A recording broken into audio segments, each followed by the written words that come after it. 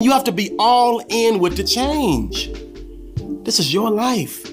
You only get one shot. And you were born to be phenomenal and spectacular, but you can't be spectacular when your brain is all over the place and you can't control the way you're thinking. So I need you to get a pen and a piece of paper.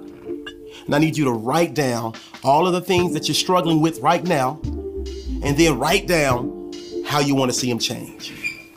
I need you to see the success. I need you to see yourself as the new you. Then I need you to submerge yourself in positivity. It's all about personal development. And I'm talking about reading books, watching videos, listening to music, empowering TV shows, empowering movies. Anything that you can put into your soul that's making you become a better person, I need you to be all about that. You gotta invest in yourself. And sometimes it's not about adding things,